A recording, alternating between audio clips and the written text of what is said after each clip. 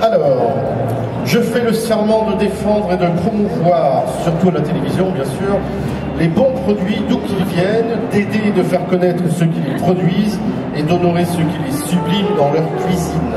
À ma table, je m'engage à ne jamais servir que belles volailles, rôtis juteux, légumes goûteux, sauces délectables et desserts délicats, et toujours les accompagner d'esquisses bouteilles. Oh, quel talent Merci beaucoup. Voilà, vous allez recevoir donc euh, la médaille de la confrérie, enfin c'est